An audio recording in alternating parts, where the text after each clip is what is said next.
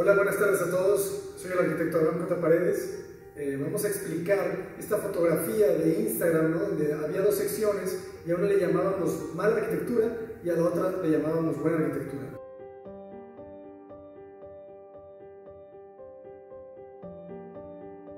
No vamos a decir que una arquitectura es buena o mala porque no nos gusta por su apariencia, ¿no? por la estética, por la forma, por el material. Vamos a hablar de cosas muchísimo más tangibles que podamos medir, como la implantación. ¿Y cómo medimos la implantación de un proyecto? A través de la sección, a través de una sección que corte topográficamente nuestro terreno. Entonces, en específico, este proyecto se desarrolla en la ciudad de Guadalajara. Es, un terreno dentro de un fraccionamiento cerrado, ¿no? estas tipologías de vivienda unifamiliar de las cuales está lleno eh, México y otras partes de Latinoamérica. Muy bien, vamos a empezar. Vamos a dibujar nuestro perfil natural del terreno. Recordamos que el terreno tiene 20 metros de fondo. Entonces vamos a dejar eh, dibujar aquí una personita y vamos a poner que este es nuestro nivel de piso terminado, nuestro nivel 0, 0. Nuestro terreno, entendemos que tiene 20 metros de fondo y baja una profundidad de un metro aproximadamente. NPT menos 1,00 eh, metros. Entonces, ¿qué está pasando? Eh, nuestro terreno también vale, la pena decir, estamos adentro de un fraccionamiento cerrado, eh, entonces el terreno se ubica en, un, en un, lindero, ¿no? Eh, en la orilla de este fraccionamiento, entonces tenemos una barra perimetral atrás, hay una barra perimetral de 3 metros de altura. Y después de esa barra perimetral sigue una banqueta y luego sigue el arroyo vehicular. por aquí podríamos poner una personita sacamos el nivel. Entonces, como para orientarnos un poco mejor. Eh, entonces, aquí lo interesante es que tenemos dos opciones, ¿no? Hicimos dos opciones de proyecto. Primero hicimos esta. Los clientes nos pedían un sótano. Eh, los clientes como ustedes van a llegar con, ideas, con cosas que, que, ya vieron, que les gustaron y que quieren plasmar en sus proyectos. Entonces, estos clientes tienen con nosotros así, arquitecto, vimos una casa con, sótanos y, vimos la cueva que de nosotros que, les gustó. Entonces vamos a tratar de desarrollar la casa como nos la piden, con un sótano. Entonces, ¿qué hacemos? Ustedes saben que eh, como no tenemos muchos, acuérdense, los 20 metros de fondo, eh, no es tanto. Entonces, cada que queremos hacer un sótano en estos fraccionamientos, pues tiene que ser eh, una parte hacia abajo, ¿no? O sea, no podemos bajar completamente un nivel porque no tenemos tanta distancia para desarrollarlo. Entonces, ¿qué hacemos? Hacemos una rampa más o menos de 5 metros. Eh, nosotros siempre estamos cuidando que, el porcentaje de pendiente no rebase el 25% para estos lugares, ¿no? porque ya eh, se puede complicar. Entonces, bajamos este nivel de sótano para que no nos rebase el 25% alrededor de un metro 10, un metro 20, que también es muy importante decirlo, siempre que trabajemos con sótanos tenemos que cuidar eh, nuestro nivel de drenaje, la profundidad del tubo, ¿no? el tubo de drenaje, el colector eh, del fraccionamiento, se supone que está corriendo a una altura de un metro 50. ¿no? Eh, entonces, eso va a ser para nosotros fundamental para medir ¿no? qué tanto podemos bajar la casa. Entonces, ¿qué hacemos? ¿Dejamos ese, ese tubo o dejamos el nivel de piso terminado de, la, de nuestro sótano en menos un metro diez más o menos para que nos dé, para que siga teniendo distancia el tubo para irse por gravedad el agua. Entonces, bajamos 5 metros, después dejamos otros 5 metros 50 aproximadamente para tener el coche, ¿no? el área de cocheras. Ustedes saben que un cajón de estacionamiento estándar debe medir 2 eh, metros 50 por 5, ¿no? Entonces, eh, vamos a, dejar punteada también, ¿no? siempre que ustedes estén trabajando con terrenos donde la topografía eh, no sea plana, siempre tenemos que tener en mente cuál es nuestro perfil natural del terreno, ¿no? para, estar, para estar conscientes qué tanto estamos excavando o qué tanto estamos rellenando. Eh, entonces, bueno, eh, hacíamos el sótano, bajábamos este metro 10. Eh, nosotros tenemos que cuidar cuando hacemos sótanos ciertas medidas. Por ejemplo, cuidamos que, de altura del sótano no rebase, o, más bien no sea menos, no sea menor de 2 metros 40. Entonces, tenemos que cuidar esa altura, pero al mismo tiempo tenemos que cuidar la altura para ingresar al sótano que nosotros sabemos que tenemos que tener mínimo libres, que es una altura que se, se utiliza en los estacionamientos eh, en general, ¿no? para acceder a, lugares públicos, fíjense ustedes, siempre les dice hay una altura máxima permitida, eh, permitida de 2 metros 10.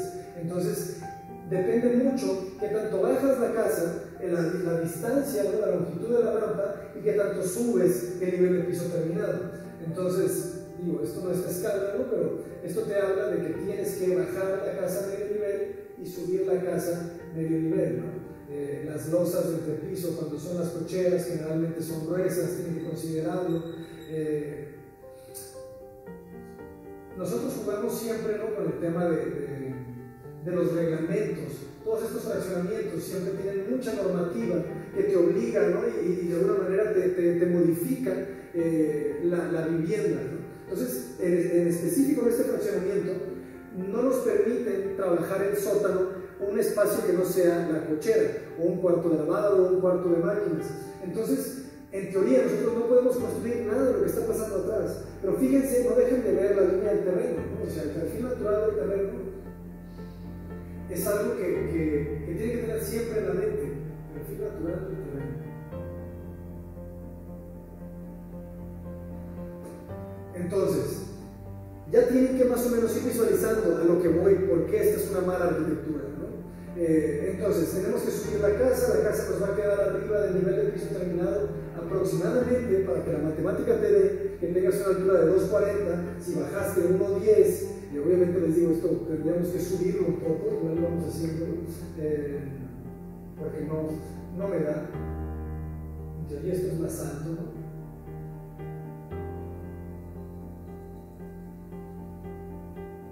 y ahora sí ya parece algo más acercado a la realidad. Entonces, eh, como bajamos un metro diez y traemos dos metros cuarenta de altura, nos queda todavía 1.30, ¿verdad? 1.30 de diferencia entre nuestro nivel de piso terminado del 0,0 y el lecho inferior de la losa. Hay 1.30 acá. Eh, entonces, la losa les puede llevar hasta 40 centímetros, 45 centímetros, vamos dejándola de 40, ¿no? 40 centímetros. Eh, entonces, nuestro nivel de piso terminado de nuestra casa, NPT, va a dar alrededor de 1,70. Nuestro nivel de piso terminado, tenemos que trabajar con escalones que van a hacer otras cosas, ¿verdad? Pero esto, esto es lo interesante, ¿no? O sea, nosotros vamos a tener nuestra losa de entrepiso,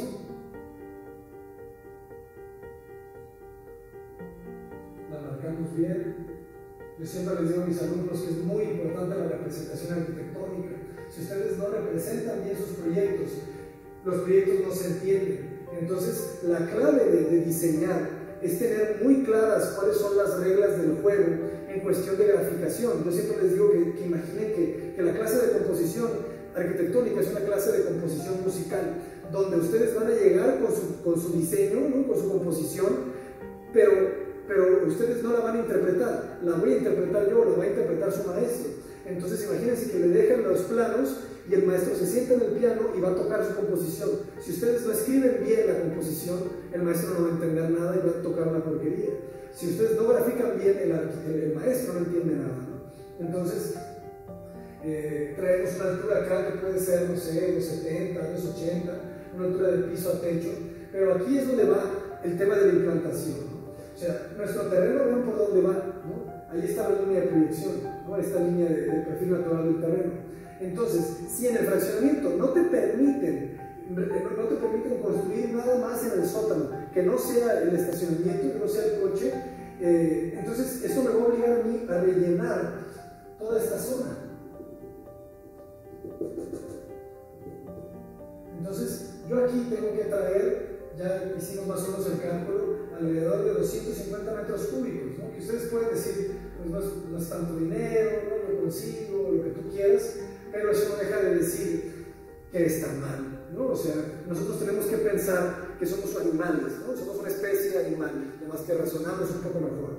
Entonces, ustedes piensen siempre cuáles son las arquitecturas de los animales, ¿no? cuáles son las arquitecturas de las hormigas, cuáles son las arquitecturas de las abejas, cuáles son las arquitecturas de de, las aves, ¿no? de, estos animales que se comen las, que se comen la madera, las termitas. Entonces, las arquitecturas animales siempre van a trabajar con el fundamento de, lo esencial, ¿no? de la economía del recurso, de la eficiencia. Entonces, ¿ustedes creen que si de repente les llega aquí eh, un castor que necesita hacer su casa ahí al lado del lado, no sé qué, va a ponerle más cosas de las sumamente necesarias? Pues claro que no, va a trabajar solamente con una lógica de lo esencial. Entonces, en este momento, lo que ya ustedes están hablando de rellenos así de masivos, ya estás hablando que la implementación, que la implantación del proyecto está mal. Pero luego pasan otras cosas. O sea, nosotros hicimos un proyecto muy interesante, con patios y estas cosas, eh, y mandábamos nuestra sala comedor hacia atrás. No hemos hablado todavía de orientación, eso será el tema para otros videos, ¿verdad? Pero traemos el norte en la parte de atrás, por lo cual aventar salas comedores, áreas públicas, le viene muy bien, porque aquí, aquí en México, aquí en Guadalajara, eh, es una zona que cada vez hace más calor, entonces el norte ustedes saben que es una orientación, al menos de este hemisferio, eh, que nunca te da el sol directo. Esta ventana donde estamos aquí en la oficina es sur, entonces tenemos luz durante todo el día y en el norte queda completamente eh, sin rayo, un poco más en la penumbra, por lo cual mandar salas comedores al norte aquí es, es lo mejor que puedes hacer. Pero ¿qué pasaba? Nosotros hablamos muchísimo de, este tema universal que es la intimidad. Por más que tú me estés viendo en Chile, en Perú, en Colombia, eh, si, si, no sé, si nos ven de la India, si nos ven de cualquier parte del mundo, podemos ser muy distintos, pero, no, pero tenemos eh, estos, estas características esenciales del ser humano que todos queremos sentirnos protegidos ¿no? en nuestras guaridas, en nuestros refugios, y todos queremos intimidad. No, nadie quiere que lo vean salvo excepciones eh, fetichistas o cosas raras, ¿verdad? Pero, pero en realidad lo que queremos es intimidad. ¿no? Entonces, cuando yo trabajaba este proyecto, de repente me daba cuenta que aquí en la sala comedor, eh, fíjense la altura, ¿no? la altura de la barra perimetral, no la dejen de, de visualizar, traemos 3 metros atrás. Entonces, por temas de fraccionamiento, no nos permiten modificar la barra perimetral, nosotros no la podemos subir ¿Por qué? Porque ellos quieren que se guarde una cierta estética ¿no? eh, formal del fraccionamiento viéndolo desde afuera. Entonces, si yo llego y le construyo una barda aquí que me proteja de las vistas desde afuera, pues le daría yo, eh, alteraría la imagen ¿no? urbana de, este lugar. Entonces, por reglamento no me permiten. ¿no? Yo tengo que respetar el muro, no lo puedo tocar. Entonces, pues, ¿qué pasa? Pues vean esto, ¿no? Más o menos o sea, yo parado aquí en mi sala comedor, pues me va a obligar, como no puedo levantar el nivel del muro, me va a obligar a que me vean, ¿no? Voy a tener aquí cortinas y cosas, porque esta persona quizás si cruza la calle y se viene de este lado, me va a ver todo, ¿no? Entonces, el haber trabajado con sótano en un terreno que baja y que además tienes una barra perimetral en el fondo que no puedes, no puedes transformar, me obliga a rellenar y me obliga a, exponerme completamente ¿no? en, mi, intimidad. Entonces, eso no me dejaba dormir, porque lo que yo busco es eso, ¿no? Es esa, es esa introspección, es ese lugar, eh, es esa guarida, ¿no? Donde te mantengas absorto de lo que hay afuera, pero que tengas mecanismos que si quieres generar la relación, lo consigas. Entonces, ¿qué hicimos? Hicimos otra opción. Volvemos a trabajar igual. Tenemos nuestra banqueta, nuestro nivel de piso terminado, eh, nuestro 0-0, marcamos ahora sí, en, línea de proyección, nuestro terreno, eh, volvemos a marcar la banqueta, el, el apoyo vehicular, quizá ponemos por ahí un coche con lámparas, eh, la personita, el muro, nuestro muro de 3 metros, tenemos el muro de 3 metros de altura. Entonces dijimos, ok, los clientes querían un sótano, pero el terreno no quiere un sótano, ¿sí me entienden? Por eso, por eso la, solución, por más que trabaje, por más que los coches bajen, por más que la casa funcione, por más que esté bien ventilada, por más que sea bella, la solución no es correcta, porque no se adapta al entorno, al entorno inmediato que es el terreno eh, y a las condiciones que lo rodean. Entonces hicimos este cambio. Dijimos, no es un proyecto para estacionamiento, eh, para estacionamiento subterráneo dejamos 5 metros 50, obviamente esto eh, modificó todo el proyecto, o al menos una parte de él, ¿no? porque eh, el terreno lo aventamos más hacia atrás, ¿no? nos comprimió un poco el espacio.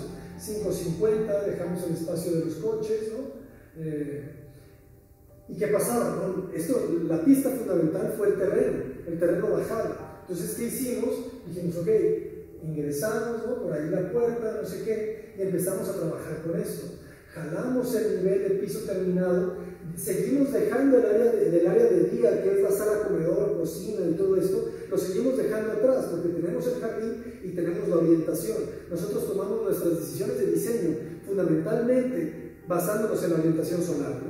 Respondemos, o sea, hablamos que la arquitectura es cierto, tiene que pertenecer al sitio, tiene que pertenecer a la cultura, me tiene que hablar del lugar donde estoy y todo esto, pero fundamentalmente tiene que responder a la orientación solar, al clima de dónde está esto, ¿no? Entonces, imagínense, o sea, a las hormigas de Nicaragua no les importa diseñar eh, distinto en México, sino si siguen trabajando con la misma orientación y con el mismo material, ¿no? Eh, la tierra. Entonces, pues nada, ¿no? ingresamos, empezamos a cambiar el tema de las alturas e hicimos esta sección, dejando hasta el fondo el área de, de, sala, comedor, cocina, eh, bien orientada hacia el norte, eh, va a ser un lugar sumamente fresco durante todo el año y trabajamos con el terreno.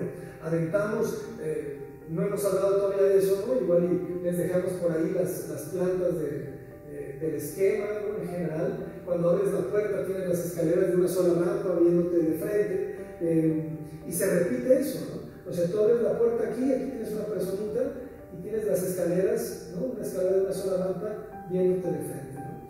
Eh, pero lo interesante es que uno cuando entra puede subir o puede bajar.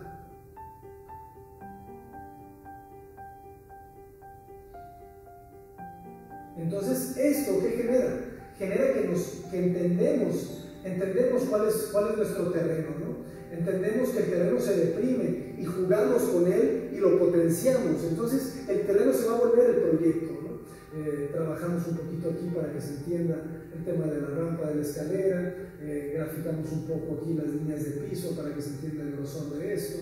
Eh, y entonces, ahora sí, gracias a que bajamos conseguimos la intimidad que no nos daba en subir la casa. Nosotros tenemos, eh, tenemos una servidumbre posterior, un área que no se puede construir al fondo del terreno de 3 metros. Eh, esa es un área que tiene que quedar completamente libre. Entonces la respetamos de alguna manera, pero aún así, esta va a ser nuestra sala comedor. Fíjense lo que ganamos. Jugando un poco con estos temas, ganamos aquí una altura aproximada de 3 metros 60, 3 metros 70, que ojo, esa altura, ¿qué nos la va a delimitar qué nos la va a definir? Nuestro nivel de drenaje.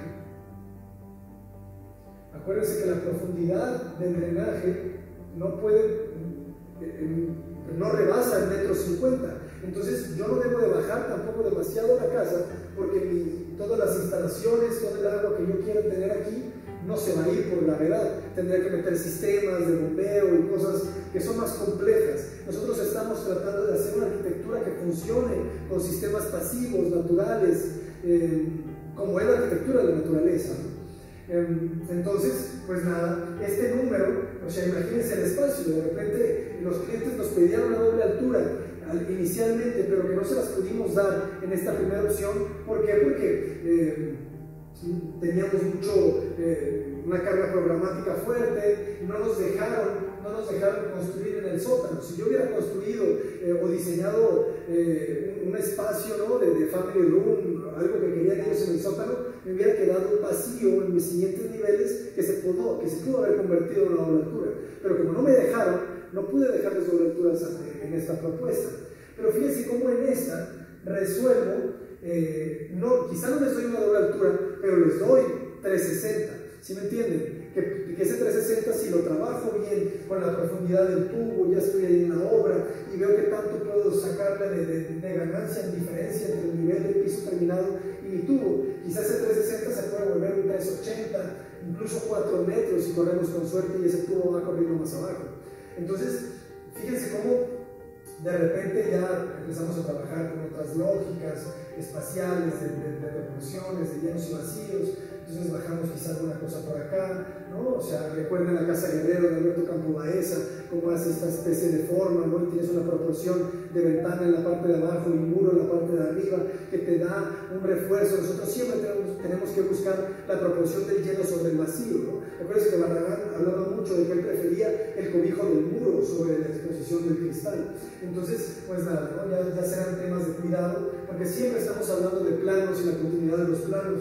Entonces yo lo que quería era que la ventana me quedara más abajo de mi nivel de, muro, ¿no? para sentir una especie de continuidad. Y ya después podrías estar hablando de, para hacer sentir más profundo este espacio, una especie de losa. Los, los clientes tienen muchas plantas, macetas, ¿no? igual aquí nos plantamos un árbol. Pero ahora si ustedes díganme si esta persona puede ver adentro de la casa, pues claro que no, ¿verdad? Y al final lo que queremos es eso, lo que queremos es que estas personas puedan andar libres en su casa, desnudos prefieren, que se puedan sentir completamente en un espacio personal, ¿no? ajeno a todo lo que está pasando en estas ciudades latinoamericanas tan ruidosas y tan caóticas, donde un día puede estallar una bomba y al día siguiente le dan el premio Nobel a Entonces, Estamos tratando de generar una arquitectura ¿no? que, trabaje con, que, trabaje con las leyes de eficiencia ¿no? y el aprovechamiento de los recursos, eh, que siempre tenemos recursos en cada proyecto, no importa en dónde estemos, en un fraccionamiento, en medio de la ciudad o en medio de la selva, siempre el proyecto nos da muchas pistas, que si uno es un poquito atento, eh, puede darse cuenta de, cómo utilizar esas pistas en beneficio propio. Mala arquitectura.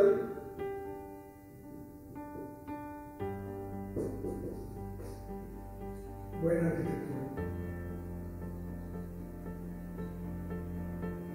sabemos si ninguna de las dos es bella, pero sabemos cuál es correcta. Muchísimas gracias. Soy Abraham Puerta Paredes.